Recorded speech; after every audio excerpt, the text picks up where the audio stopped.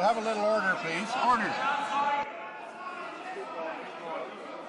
Mr. Speaker, as the Prime Minister is aware, reports indicate that 9 million sockeye salmon went missing during last summer's migration to the Fraser River. Will the Prime Minister tell this House what action this government will be taking to respond to the problem?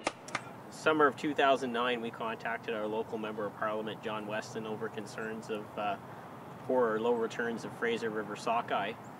Through that, John was the one who asked the question of Prime Minister Harper to call the Cohen inquiry. You know, our group wasn't the only one asking for this inquiry, but we felt that we played a small role in in getting it to uh, come about, and it was very important to both myself and our Sea to Sky Fisheries Roundtable. We are very concerned about the low and falling returns of sockeye salmon in British Columbia. Tomorrow, Mr. Speaker, the Minister of International Trade, as the regional minister for British Columbia, will be making an announcement outlining the terms of a terms of reference for a judicial inquiry, as well as the uh, judge who will lead that inquiry. The uh, honourable order.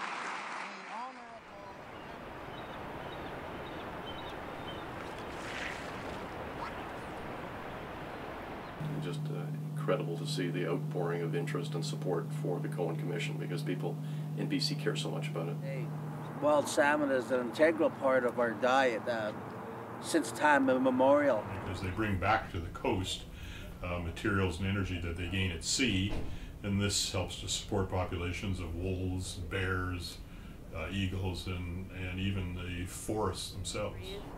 Wild salmon are absolutely essential to life in British Columbia, both the economy and the uh, ecological community.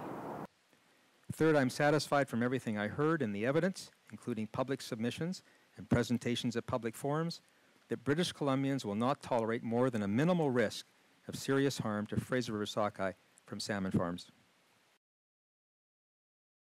it seemed like it was money being well spent. There was uh, a plan put in place or recommendations put in place to help recover sockeye and every, other salmon stocks, and it just seems like the government's just ignoring it, and it's a real, real disappointment. Real... Now,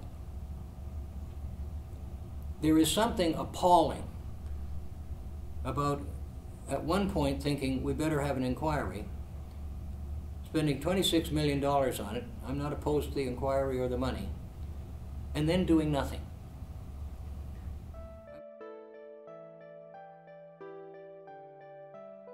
We can't wait to protect wild salmon any longer. That's why Watershed Watch is calling for the Auditor General of Canada to get involved. Join our call by signing our petition Together we can stand up to ensure our future includes healthy waterways and wild salmon.